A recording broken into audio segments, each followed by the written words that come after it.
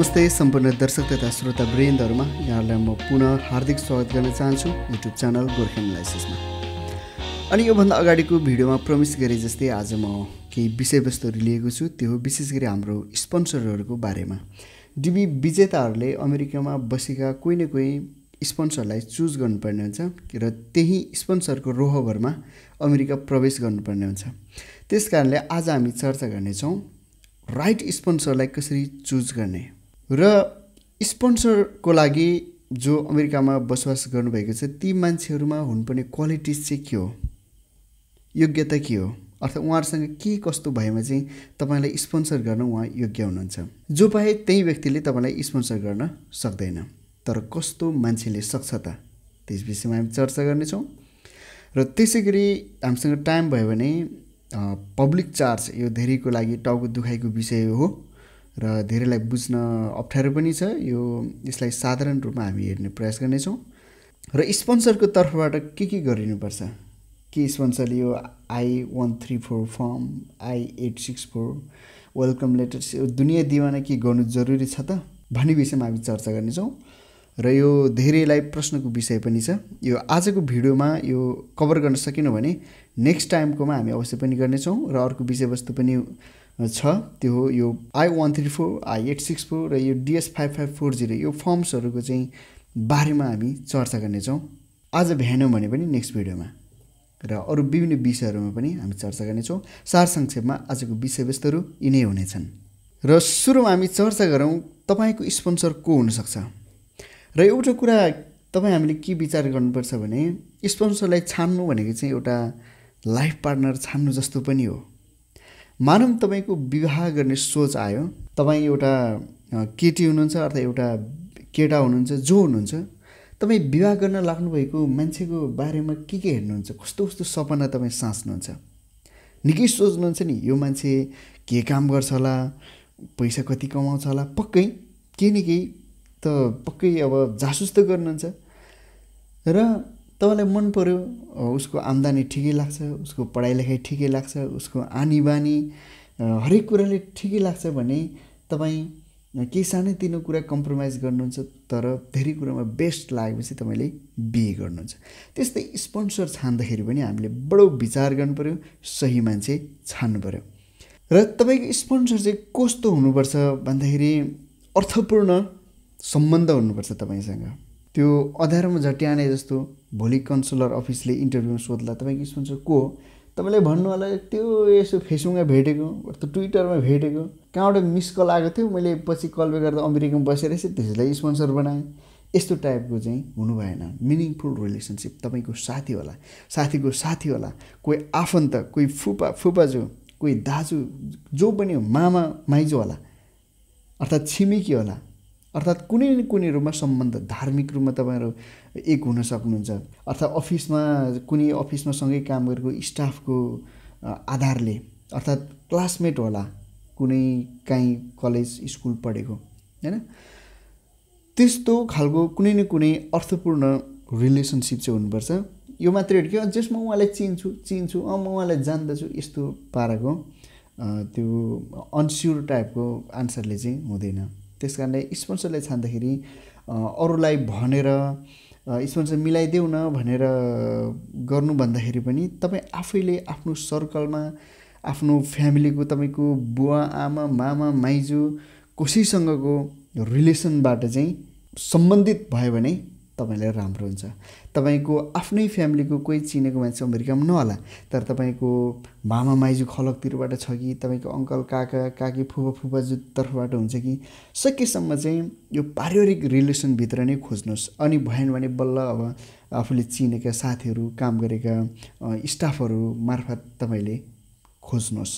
स्पोन्सरै भएन भने पनि कन्सल्टेन्सिजहरूले तपाईँले थुप्रै पैसा तिर्नुपर्छ। मेरो एनालाइसिसमा सायद तपाईँले आठ लाखदेखि पन्ध्र लाखसम्म तिर्नुपर्छ सायद स्पोन्सरको लागि कन्सल्टेन्सीले मिलाइदिएको। तर कन्सल्टेन्सीले मिलाइदिँदा पनि कुनै न कुनै नाता खुलाउनु पर्ने अवस्थाहरू त्यहाँ निकाल्नु पर्ने हुन्छ कुनै न कुनै रूपमा। त्यो कुरा याद गर्नु होला मिनिङफुल रिलेसनसिप हुनु पऱ्यो स्पोन्सरसँग। र तपाईँको स्पोन्सर चाहिँ फेथफुल हुनु पऱ्यो विश्वसनीय विश्वास गर्न सकिने आज एक एउटा कुरा गर्ने भोलि अर्को कुरा गर्ने अर्थात् तपाईँ केटी हुनुहुन्छ तपाईँ स्पोन्सर केटा छ भने उल्टी तपाईँलाई फ्लड गर्ने होला विभिन्न शोषण गर्न खोज्ने पनि होला त्यस्तो भयो भने हुँदैन। ब्ल्याकमेल गर्ने टाइपको नै हुनु भएन ठिक छ? अनि ऊ हार्डवर्कर हुनु पऱ्यो होइन? मेहनत। अमेरिकामा मेहनत बिना काम छैन है। त्यो जहाँ पनि वर्ल्ड वाइडै मेहनत बिना त कहीँ पनि काम छैन तर पनि नेपालमा चाहिँ अब लुडो खेलेर तास खेलेर पनि बस्न सकिने ठाउँ हो। तर अमेरिका चाहिँ त्यस्तो होइन त्यहाँ चाहिँ हार्ड वर्कर चाहिँ हुनु पऱ्यो र नो क्रिमिनल ब्याकग्राउन्ड तपाईँको स्पोन्सर कुनै अपराधी चोरी डकैती यस्तोमा फसेको टाइपको हो भने ऊ आफै कुनै दुर्व्यसनी यस्तो हो भने चाहिँ तपाईँले उसलाई स्पोन्सर नबनाउनु होला। र पहिलेदेखि अब तपाईँले उसलाई चिन्नुभएको मान्छे हो तर ऊ अलिकति खराब टाइपको हो भने पनि तपाईँले त्यो रिक्स नमल्नु होला। किनभने ऊ अहिले सुध्रेर राम्रो भइसकेको भए तापनि उसको कतिपय ब्याकग्राउन्ड हिस्टोरीहरू चाहिँ कतै रेकर्डेड भएका हुनसक्छन् त्यसको कारणले गर्दाखेरि भोलि धेरै ठाउँ तपाईँले आन्सर दिनुपर्ने हुन्छ। त्यस कारणले स्पोन्सर चुज गर्दाखेरि एकदमै होसियारपूर्वक चुज गर्नुहोस्। यो किन पनि महत्त्वपूर्ण छ भने तपाईँले DS two sixty form further submitting डकुमेन्टको कुराहरू मेडिकल चेकअप गरेको कुराहरू यावत कुराहरू प्रोसेस सब सबै तपाईँले अति राम्रो जति राम्रो जेसुकै गर्नुहोस् तर तपाईँको स्पोन्सर बलियो भएन भने तपाईँले अनावश्यक दुःख झेल्नुपर्ने हुन्छ। र उस्तै पऱ्यो भने तपाईँले भोलि भिजा नपाउने नै चाहिँ नहोला तर भिजा पाउनाले तपाईँले धेरै तिगडम र धेरै हैरानी भोग्नुपर्ने हुन्छ। त्यस कारणले सुरुमै यो भिडियो मैले सायद सुरुमै बनाएको भए पनि धेरै राम्रो हुन्थ्यो जस्तो लाग्छ मलाई। स्पोन्सर छान्दाखेरि तपाईँले बडो सोच विचार पुर्याएर स्पोन्सरलाई चुज गर्नु होला र म फेरि पनि भन्न चाहन्छु सकेसम्म तपाईँको फ्यामिली मेम्बरभित्रको तपाईँको नाता गोता आफन्तको सर्कलभित्रको भयो भने धेरै राम्रो। र त्यहाँभन्दा बाहिरको हुनै नसक्ने होइन तर त्यो नाताहरू चाहिँ खुलियोस्। कुनै न कुनै रूपमा मैले अगाडि नै डिटेलमा भनेको छु केही कन्फ्युजन भएमा कमेन्टमा लेख्नु होला र स्पोन्सरसँग हुनुपर्ने इलिजिबिलिटी चाहिँ के हो त? भन्दाखेरि जुन अमेरिकाको गभर्मेन्टले तोकेको एउटा साधारण मापदण्ड चाहिँ यस्तो छ। ऊ अठार वर्ष महिला होस् या पुरुष अठार वर्षभन्दा माथि हुनु पऱ्यो अनि ऊ चाहिँ अमेरिकाको पूर्ण नागरिक भएको हुनुपर्छ या त ग्रिन कार्ड होल्डर चाहिँ हुनु पऱ्यो एटलिस्ट र सकेसम्म त्यहाँको नागरिक भयो भने धेरै राम्रो नागरिकता लिइसकेको भए धेरै राम्रो नभए पनि ग्रिन कार्ड चाहिँ लिएको हुनुपर्छ। कोही पढ्न गएको होला कोही केही समयको लागि बसेको होला त्यस्तोहरूले चाहिँ तपाईँलाई स्पोन्सर गर्न मिल्दैन। र अमेरिकाभित्र बसोबास गर्नु पऱ्यो ऊ अमेरिकी नागरिक हो या त ग्रिन कार्ड होल्डर हो तर ऊ क्यानाडामा बसेको होला तिन महिना कुनै प्रोजेक्टमा गएको होला अर्थात् पढ्नलाई कुनै अर्को देश गएको होला त्यस्तो भयो भने चाहिँ भएन। ऊ चाहिँ अमेरिकाभित्र कुनै स्टेटमा चाहिँ बस्नु पऱ्यो साधारण रुल्स हो यो। र तपाईँको स्पोन्सरको इन्कम चाहिँ कति हुनुपर्छ? यो विषयमा चाहिँ धेरै विवादहरू धेरै कन्फ्युजनको कुराहरू छन् र यो पोभर्टी गाइडलाइन्स भन्ने जुन अमेरिकामा जुन एउटा पोलिसी छ त्यो गाइडलाइन्स चाहिँ कस्तो हो भन्दाखेरि एउटा मिनिमम स्ट्यान्डर्ड अर्थात् एउटा मिनिमम एनुअल इन्कम तोकिदिएको छ अमेरिकाले त्यो पनि फेरि स्टेट अनुसार फरक फरक हुन्छ। एउटा स्टेटमा एक खालको अर्को स्टेटमा अर्को खालको। भन्नु मतलब तपाईँ अमेरिका जानुहुन्छ भने त्यही काम कुनै स्टेटमा गर्नुहुन्छ त्यसको पैसा अलिक बढी पाउनुहुन्छ। त्यही काम अर्को स्टेटमा पाउनु भने त्यसको पैसा अलिक कम हुन्छ। त्यही प्रकारले कुनै एउटा स्टेटमा बस्नुहुन्छ त्यहाँको अपार्टमेन्टको भाडा एक लेभलको हुन्छ भने त्यस्तै खालको अपार्टमेन्टमा बस्नुहुन्छ तर अर्को सिटी अथवा अर्को स्टेटमा भने त्यहाँ फेरि बढी या तल हुनसक्छ। त्यसमा मात्रै होइन कि तपाईँको एजुकेसनमा पनि हरेक कुरामा तपाईँ त्यहाँको स्कुल कलेज जोइन गर्नुहुन्छ। कुनै एउटा स्टेटमा त्यही पढाइ सेम अर्थात् मेडिकल को कुरा पनि गरौँ न। त्यही ट्रिटमेन्ट कुनै एउटा स्टेटमा एक लेभलको चाहिँ त्यसको खर्च प्राइस हुन्छ भने अर्को ठाउँमा अरू महँगो या त अलिकति सस्तो पर्न सक्छ। हो त्यसै कारणले अमेरिकामा जेनरल लाइफ बाँच्नलाई चाहिँ मिनिमम एनुअल इन्कम कति हुनुपर्छ मान्छेको भनेर जुन तोकेको लाइन्सलाई चाहिँ यो पोभर्टी गाइडलाइन्स भन्छ हो त्यो अनुसारले जोस त्यो स्ट्यान्डर्ड चाहिँ मेन्टेन गरेको मान्छे हुनुपर्छ त्योभन्दा बढी बढी इन्कम भएको मान्छे हुनुपर्छ तपाईँको स्पोन्सर जस्तै यो पनि सालै पछि फरक हुन्छ जस्तो यो ट्वेन्टी ट्वेन्टीको कुरा गर्ने हो भने एउटा मान्छेले तपाईँलाई स्पोन्सर गर्न सक्छ जसको चाहिँ एनुअल इन्कम एटलिस्ट बत्तिस हजार सात सय पचास डलर हुनु पऱ्यो र यही कुरालाई लिएर चाहिँ धेरै कन्सल्टेन्सिजहरूले चाहिँ तिस हजारदेखि माथि हुनुपर्छ भन्छन् उहाँहरूले या त तेत्तिस हजार भनेर चाहिँ भन्ने गर्नुहुन्छ। यसको बारेमा अलिक डिटेल्समा अब हेर्नेछौँ। जस्तै यो चार्टमा हेर्दाखेरि यहाँ यो प्राइस अर्थात् यो एनुअल इन्कमको यो रेट चाहिँ यो तलमाथि देख्नुहुन्छ। जस्तो अलास्कामा अलिक बढी देख्नुहुन्छ हवाईमा अलिकति कम कम देख्नुहुन्छ। र यतापट्टि यो जेनेरल साधारण सस्तो स्टेटहरूको पैसा यतापट्टि अलिकति छुट्टै छ। यो कुरालाई विचार गरेर तपाईँले स्पोन्सर चुज गर्दाखेरि पनि कुन स्टेटको तपाईँ चुज गर्दै हुनुहुन्छ त्यो अनुसारले चाहिँ त्यो स्पोन्सरको एनुअल इन्कम चाहिँ तल माथि हुने गर्छ त्यो तपाईँले याद गर्नुपर्छ। र स्पोन्सरको यहाँ चार्टमा फ्यामिली मेम्बर्स यतापट्टि जुन लेफ्ट साइडमा देख्नु चाहिँ फ्यामिली मेम्बर्स यदि फ्यामिली मेम्बर्स कति छ त्यो अनुसारले चाहिँ उतापट्टि चाहिँ एनुअल इन्कम कति हुनुपर्ने भनेर चाहिँ एउटा साधारण स्याम्पल दि छ। साधारण यो एउटा चार्ट हो।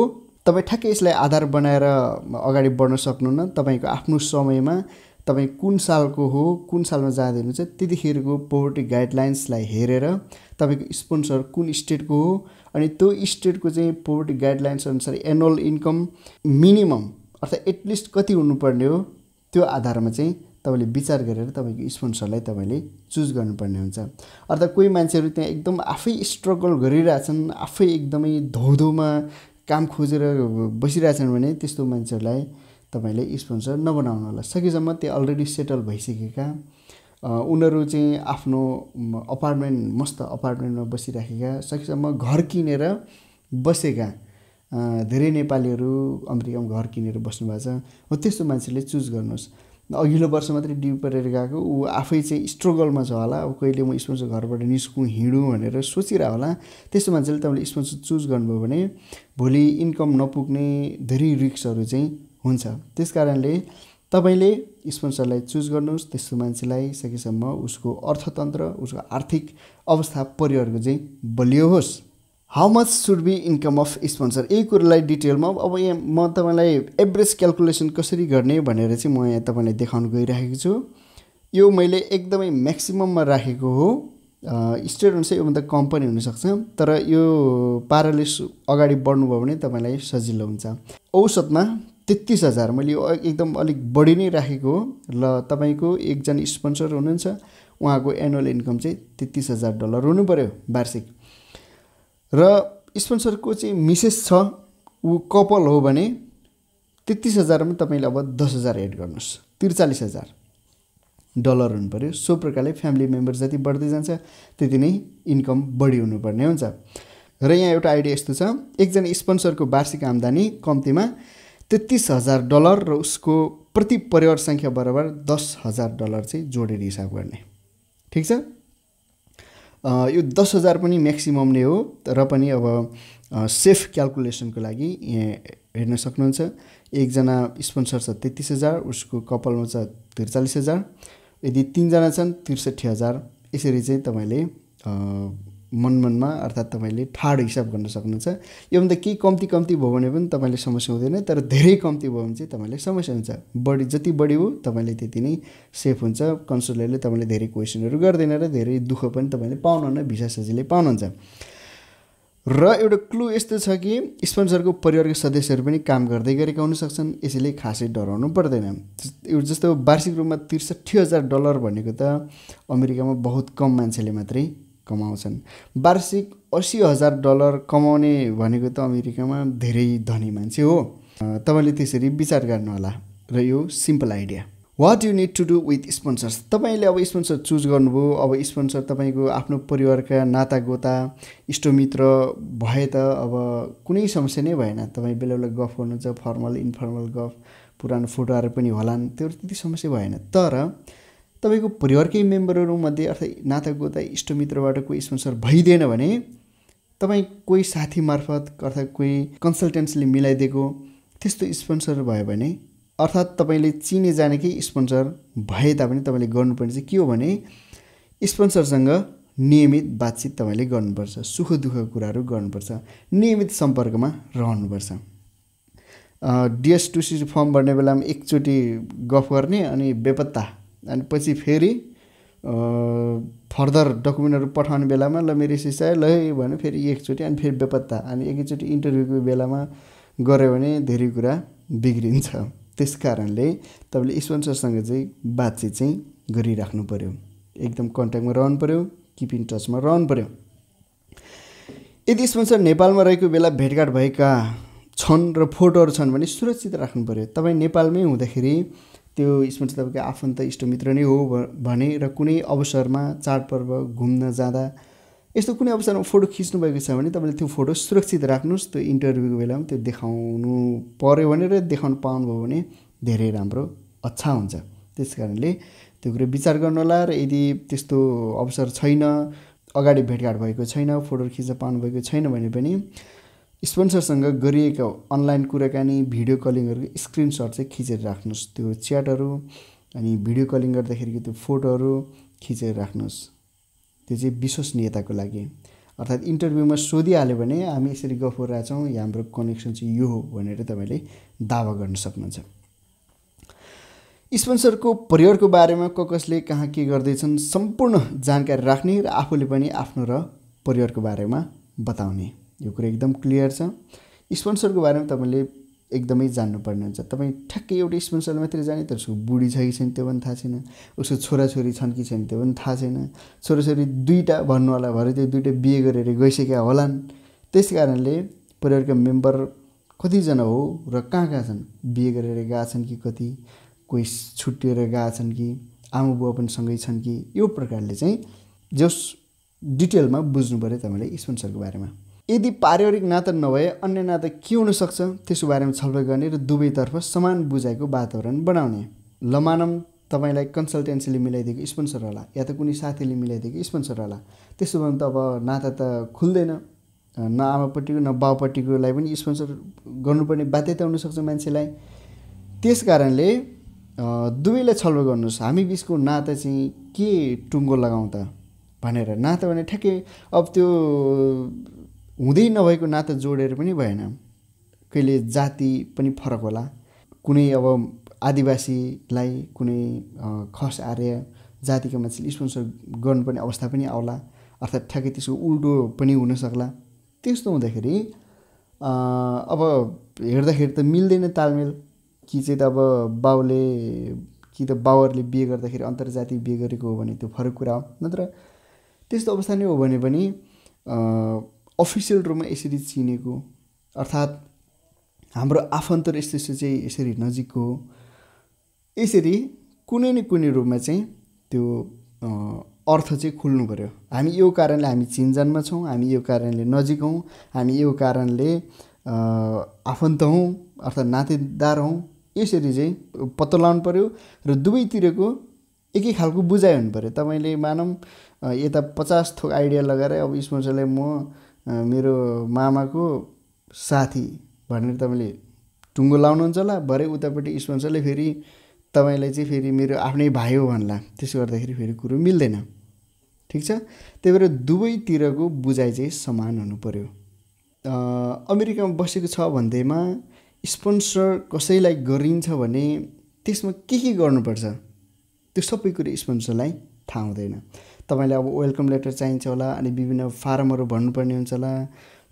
ट्याक्स पेड गरेको चाहिँ डकुमेन्टहरू पठाउनु पर्ने हुन्छ होला। यावत कुराहरू सबै स्पोन्सरले थाहा नहुनसक्छ। कतिपय कुराहरू चाहिँ तपाईँले नै स्पोन्सरले सिकाउनु पर्ने पनि हुनसक्छ। मलाई यस्तो डकुमेन्ट चाहियो यो कुरालाई यसरी भर्नु होला त्यहाँ गएर भर्नु होला यसरी यस्तो ठाउँमा सोध्नु होला भनेर यतैबाट पनि सिकाउनु पर्ने हुनसक्छ। त्यो कुरा पनि स्पोन्सर अब त्यहाँ बसेको सबै थाहा होला भनेर तपाईँ ढुक्क बसेर चाहिँ भएन। कतिपय कुराहरू तपाईँ आफैले सिकाउनु पर्ने अराउनु पर्ने हुनसक्छ। र स्पोन्सरले चाहिँ के के गर्नुपर्छ त? What should be done by sponsors र यस विषयमा हामीले चर्चा गर्दाखेरि स्पोन्सरले गर्नुपर्ने काम भनेको उसको बारेमा सम्पूर्ण जानकारी तपाईँलाई दिनु पऱ्यो नाम ठेगाना कन्ट्याक्ट इमेल फ्यामिली साइज अनि काम के गर्दैछ कुन ठाउँमा बसेको छ के हो यहत कुराहरू। र तपाईँले आफ्नो स्पोन्सरको ठेगाना डिएस टू सिक्सटी फर्म भर्दा एक ठाउँ लेख्नुभयो तर पछि प्रोसेस जाँदै गर्दा अन्तर्वार्ताको समयसम्ममा तपाईँको स्पोन्सर फेरि अर्को स्टेटमा चाहिँ बसाइसराई भइसकेको छ भने त्यो जानकारी तपाईँले केसिसीलाई इमेल लेखेर नि बताउन सक्नुहुन्छ। र इमेल लेख्नैपर्छ भने जरुरी छैन बताउनु भयो भने बताउनु भयो भने पनि ठिकै छ। बताउनु भएन भने पनि अन्तर्वार्ताको बेलामा चाहिँ मेरो स्पोन्सर पहिले यस्तो यस्तो ठाउँमा बसेको थियो अहिले चाहिँ यस्तो ठाउँमा सरेको छ भनेर त्यहाँ इन्फर्म गर्न सक्नुहुन्छ।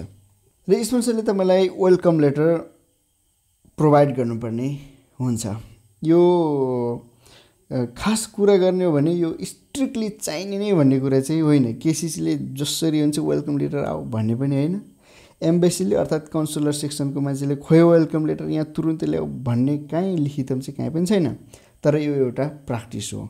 वेलकम लेटरले के गर्ने भयो भन्दाखेरि चाहिँ स्पोन्सरको चाहिँ त्यो जुन प्रतिबद्धता हुन्छ तपाईँले स्पोन्सर गर्छु भन्ने त्यो चाहिँ तपाईँप्रति स्पोन्सर कतिको आसक्ति छ तपाईँलाई कतिको प्रेम गर्दोरहेछ वास्तवमा भन्ने झल्काउनलाई एउटा सूचक जस्तो मात्रै हो।